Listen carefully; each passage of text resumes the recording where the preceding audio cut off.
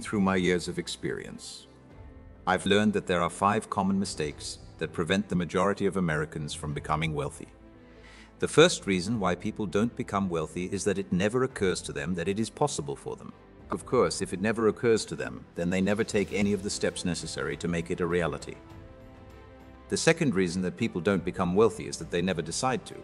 The great majority of people don't decide to be successful, even if it occurs to a person that he could become wealthy if he just did certain things in a certain way. If he doesn't decide to take the first step, he ends up staying as he is. If you continue to do what you've always done, you'll continue to get what you've always got. The third reason that people don't become wealthy is procrastination. People always seems to be a reason to procrastinate. As a result, they keep putting it off month by month, year by year, until it's too late. Even if it's occurred to a person that they can become wealthy and they have made a decision to change, procrastination will push all their plans into the indefinite future, and nothing will ever happen. The fourth reason that people retire poor is the inability to delay gratification. The great majority of people have an irresistible temptation to spend every single penny they make and whatever else they can borrow or buy on credit. If you cannot delay gratification and discipline yourself to refrain from spending everything you make, you cannot become wealthy. If you cannot practice budgeting as a lifelong habit, it will be impossible for you to achieve financial independence. The fifth reason that people retire poor is perhaps as important. It's a lack of time perspective. Time perspective is defined as the amount of time that you take into consideration when planning your day-to-day activities and when making important decisions in your life. A young couple that begins putting $50 a month aside in a scholarship fund so that their newborn child can go to the college or university of his choice is a couple with long time perspective. They're willing to sacrifice in the short term to assure better results and outcomes in the long term. People with long-time perspective almost invariably move up economically in the course of their lifetimes. Money tends to flow toward those people who can use it in the most productive ways to produce valuable goods and services, and who can invest it to create employment and opportunities that benefit others. Money flows away from those who use it poorly or who spend it in non-productive ways. Here are the absolutely unbreakable laws of money. Number one is the law of abundance. This law says that we live in an abundant universe in which there is sufficient money for all who really want it, and who are willing to obey the laws governing its acquisition. We live in a generous universe, and we are surrounded on all sides by blessings and opportunities to acquire all we truly desire. Your attitude of either abundance or scarcity toward money will have a major impact on whether you become rich or not. The first corollary of the law of abundance says that individuals become wealthy because they believe they have the ability to become wealthy. They consistently do the things that turn their beliefs into realities. In the book The Instant Millionaire by Mark Fisher, the old millionaire asks the boy who has sought his advice about becoming a millionaire, why aren't you rich already? This is an important question to ask yourself. Your answers will expose your self-limiting beliefs, your doubts, your fears, your favorite excuses, your rationalizations, and your justifications. Write down all the reasons you can think of. Go over your answers one by one with someone who knows you well and ask them for their opinion. Whatever your reasons or excuses, you can now get rid of them. The world is full of hundreds and thousands of people who have had far more difficulties to overcome than you could ever imagine. They've gone on to be successful anyway, and so can you. Number two is Parkinson's Law. Parkinson's Law is one of the best known and most important laws of money and wealth accumulation. It explains why most people retire poor. The least law says that no matter how much money people earn, they tend to spend the entire amount. Their expenses rise in lockstep with their incomes. Many people are earning today several times what they were earning at their first jobs. But somehow they seem to need every single penny to maintain their current lifestyles. The first corollary of Parkinson's law says Financial independence comes from violating Parkinson's law. It is only when you develop sufficient willpower to resist the powerful urge to spend everything you make that you begin to accumulate money and move ahead of the crowd. The second corollary of Parkinson's law is if you allow your expenses to increase at a slower rate than your income increases, and you save or invest the difference, you will become financially independent in your working lifetime. This is the key. If you can drive a wedge between your increasing earnings and the increasing cost of your lifestyle, and then save and invest the difference, you can continue to improve your lifestyle as you make more money. From this point onward, resolve to save and invest 50% of any increase you receive in your income from any source. Learn to live on the rest. Save 50% of any amount that you receive from any source whatsoever. This still leaves you the other 50% to do with as you desire. Number three, the law of three. This law says that there are three legs to the stool of financial freedom savings, insurance, and investment.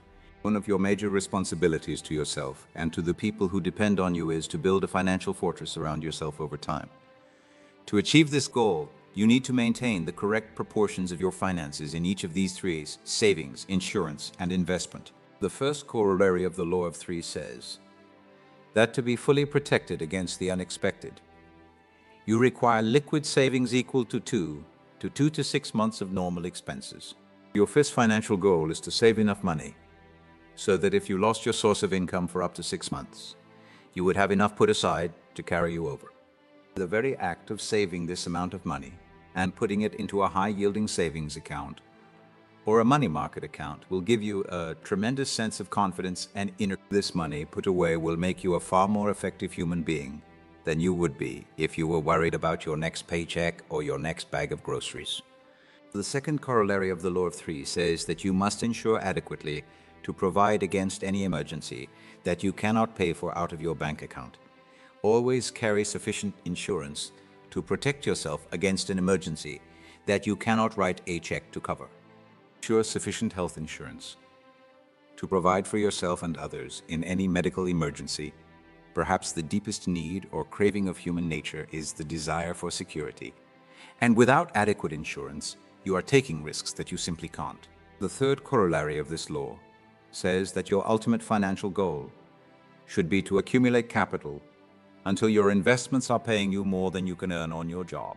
Your life is divided into roughly three parts, although these three parts tend to overlap.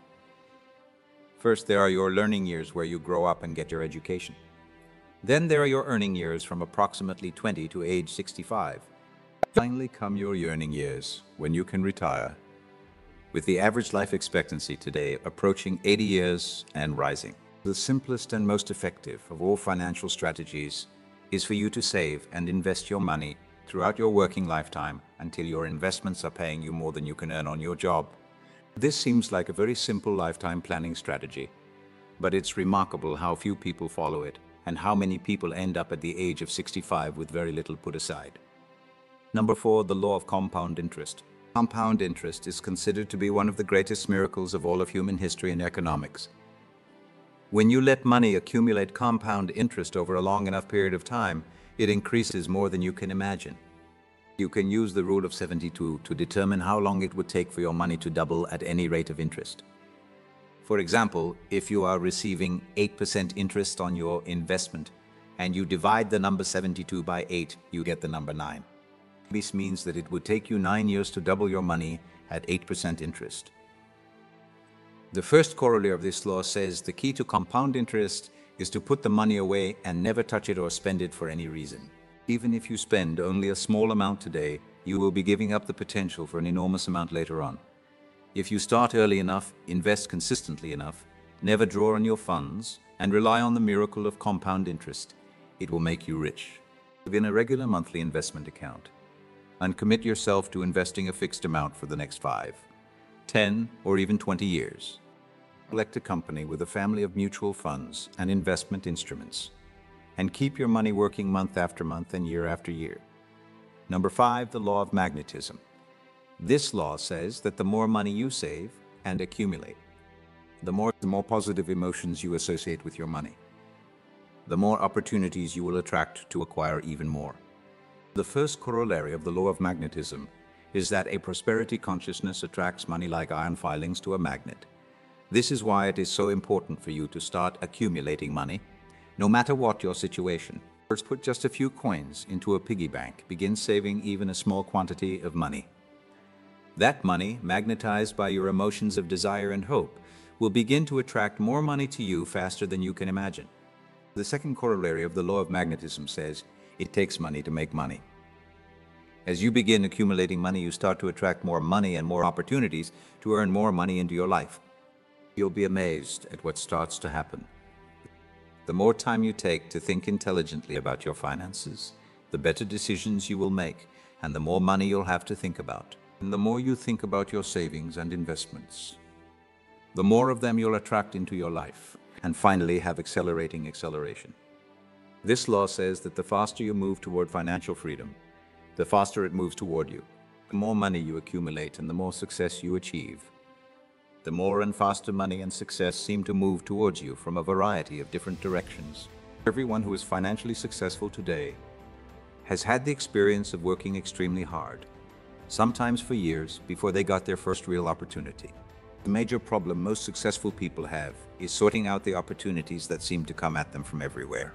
The first corollary of the law of accelerating acceleration says that fully 80% of your success will come in the last 20% of the time that you invest or put in.